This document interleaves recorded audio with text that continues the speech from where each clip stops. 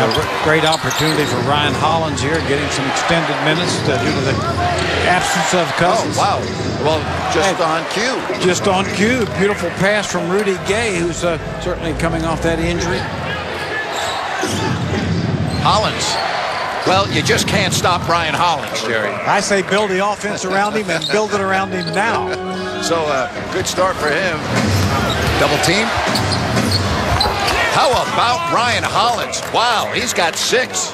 I mean, Ryan Hollins is a. I mean, this. I don't know what his career high, but he's moving towards it. Hey, no. Well, look who's there. Mr. Hollins, he's 4-4. He's got eight points, and the Kings have the lead. The in. And Ryan Hollins has been perfect. So Ryan now with 11 points. Look at Ryan Hollins, and he'll get two more free throws. Well, you look at what Ryan Hollins is doing in this game, D'Alessandro and his staff. McLemore has not scored in this game. Nice pass to Ryan Hollins. Look at him go. Ryan Hollins has 15 points. Yeah, like I said, going to career high 19, Yep. moving that direction. Ryan Hollins.